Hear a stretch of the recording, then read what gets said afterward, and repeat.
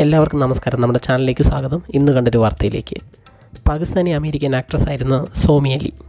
അലി ചേച്ചി ഇപ്പോൾ അമേരിക്കയിൽ നോ മോർ ടിയേഴ്സ് എന്ന ചാരിറ്റി ഓർഗനൈസേഷൻ നടത്തി വരുന്നു. കറാച്ചിയിൽ ജനിച്ചു അമേരിക്കയിൽ യൗവന ജീവിതം. അവിടെ നിന്നും ബോംബെയിലെത്തി. മോഡലിംഗ് തുടങ്ങി അറിയപ്പെടുന്നൊരു ബോളിവുഡ് ആക്ട്രസ്സായി മാറി. നമ്മുടെ ഖാൻമാരിൽ ഒരാളായ സൽമാന്റെ പഴയ ഗേൾഫ്രണ്ട് കൂടിയായിരുന്നു.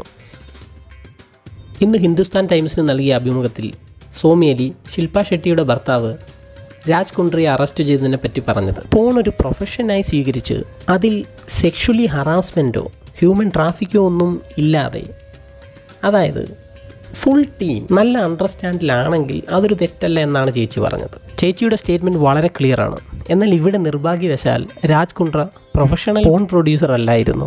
ഇന്ത്യ മഹാരാജ്യത്തെ പോണുമായി ബന്ധപ്പെട്ട നിയമങ്ങൾ നോക്കിയാൽ ഇന്ത്യൻ പീനൽ കോഡിന്റെ പതിനാലാമത്തെ ചാപ്റ്ററിൽ സെക്ഷൻ ഇരുന്നൂറ്റി അറുപത്തി എട്ട് മുതൽ ഇരുന്നൂറ്റി തൊണ്ണൂറ്റി നാല് വരെയുള്ളതിനോട് ചേർത്ത് വായിക്കേണ്ടി വരും. പതിനാലാമത്തെ ചാപ്റ്റർ പറയുന്നത് offences affecting the public health safety convenience decency and morals പോണോഗ്രഫിയായിട്ട് കുറച്ചെങ്കിലും ചേർന്ന് നിൽക്കുന്നത് സെക്ഷൻ ടു നയന്റി ത്രീ ആണ്. അതും ആക്യുറേറ്റ് ആയിട്ടുള്ളൊരു ഡെഫിനിഷൻ എന്ന് പറയാനും പറ്റില്ല. കാരണം ഐ പി സി ഇൻട്രൊഡ്യൂസ് ചെയ്യുന്നത് തന്നെ ആയിരത്തി എണ്ണൂറ്റി അറുപതിലാണ് ആ കാലഘട്ടത്തിൽ. ഇന്നത്തേതുപോലെ ഇലക്ട്രോണിക് മീഡിയയ്ക്ക് അത്ര പ്രചാരമില്ലാത്തതിനാൽ അതിന്റെ ആവശ്യം വന്നിരുന്നില്ല എന്നതാണ്. അതിനാൽ രണ്ടായിരത്തിലെ ഐ ടി ആക്റ്റിൽ ഒരു ക്ലാരിഫിക്കേഷൻ കൊണ്ടുവരുന്നു. അതിന് publication or transmission of porn is illegal പക്ഷേ കാണുന്നതും സർഫ് ചെയ്യുന്നതും ഒന്നും കുറ്റകരമല്ല. അതിലും ചൈൽഡ് പോണോഗ്രഫി അനുവദിച്ചിട്ടില്ല. അത് protection of children from sexual offences POCSO act രണ്ടായിരത്തി പന്ത്രണ്ടിലും രണ്ടായിരത്തി പതിനഞ്ചിൽ ഇന്ത്യ ഗവൺമെന്റ് പോണോഗ്രാഫിക് വെബ്സൈറ്റുകൾ ബാൻ ചെയ്തത് എല്ലാവർക്കും ഓർമ്മ കാണുമല്ലോ അപ്പോൾ ഉണ്ടായ കോലാഹലങ്ങളിൽ ഒരു ക്ലാരിഫിക്കേഷൻ ഗവൺമെന്റ് തന്നിരുന്നു.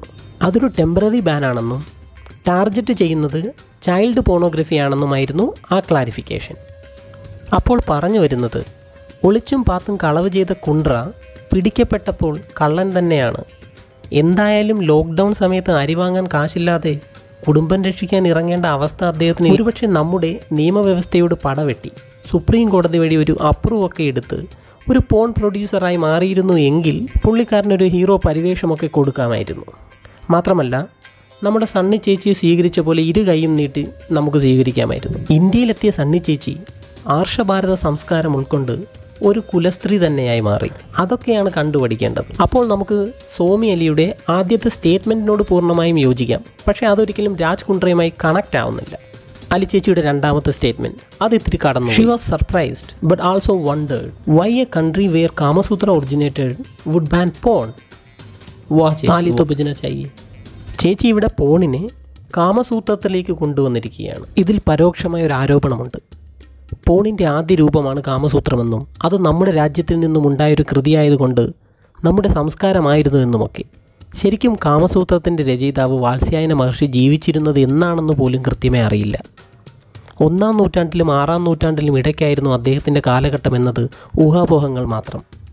കാമത്തിലൂടെ മോക്ഷത്തിലെത്താമെന്ന വാത്സ്യായന ശാസ്ത്രത്തിന്റെ പിതാവായ ഒരു ഇന്ത്യൻ ഫിലോസഫർ മാത്രമായിരുന്നു അദ്ദേഹം. അത് അദ്ദേഹത്തിന്റെയും അദ്ദേഹത്തിന്റെ അനുയായികളുടെയും മാത്രം കാഴ്ചപ്പാടായിരുന്നു. അങ്ങനെയെങ്കിൽ ഭാരതത്തിലെ കൂടുതൽ ഫിലോസഫേഴ്സും പറഞ്ഞിരുന്നത് ബ്രഹ്മചര്യമാണ് മോക്ഷത്തിലേക്കുള്ള വഴിയെന്നല്ലേ. പിന്നെ നമ്മുടെ ശില്പകലകളിൽ കാമസൂത്രം ഒരുപാട് സ്വാധീനിച്ചിരുന്നു എന്നത് സത്യം മനുഷ്യന്റെ കൂടെ പിറന്ന വികാരങ്ങളിൽ ഒന്ന് മാത്രമാണ് രതി. അതാരും ആർക്കും പഠിപ്പിച്ചു കൊടുത്തില്ലെങ്കിൽ പോലും സ്വയം അറിയും. അതിനൊരു തർക്കവുമില്ല. ഇത് ഏറ്റവും നല്ല രീതിയിൽ ദ ബ്ലൂ ലഗൂൺ എന്ന സിനിമയിൽ കാട്ടിത്തരുന്നുണ്ട്. ബ്ലൂ ലഗൂൺ കാണേണ്ട ഒരു സിനിമ തന്നെയാണ്. ഇതുവരെ കാണാത്തവർ കണ്ടു നോക്കുക. ഇപ്പോഴത്തെ പോൺ മൂവികളിൽ കാട്ടിക്കൂട്ടുന്നതൊന്നും ലൈംഗിക വിദ്യാഭ്യാസമല്ല ആഭാസമാണ്. ഇത്രയും നാച്ചുറലായി എത്രത്തോളം ഫാന്റസി കൂട്ടിക്കലർത്തി ചെയ്യാമോ സൂപ്പർ ഹ്യൂമൻ ആക്കാമോ അങ്ങനെയൊക്കെ സിനിമറ്റോഗ്രഫി ചെയ്തു വരുന്ന ഒരു പോൺ വീഡിയോ കാണുന്ന ഒരാളിൽ ഒരു കുട്ടി എന്ത് ലൈംഗിക സങ്കല്പമാണ് ഉണ്ടാക്കുക? എത്രത്തോളം മനുഷ്യരെ ഇതിന് അഡിക്റ്റഡ് ആക്കുന്നു? മറ്റു ലഹരികളെപ്പോലെ തന്നെ അപകടകരമാണ് പോൺ അഡിക്ഷനും. അതിനു മനുഷ്യനെ മൃഗങ്ങളിൽ നിന്നും വ്യത്യസ്തമാക്കിയ മനസ്സിനെ നിയന്ത്രിക്കാനുള്ള കഴിവ്. അതില്ലാതാക്കും. എത്ര റേപ്പ് വാർത്തകളാണ് നമ്മൾ ദിവസവും കേൾക്കുന്നത്.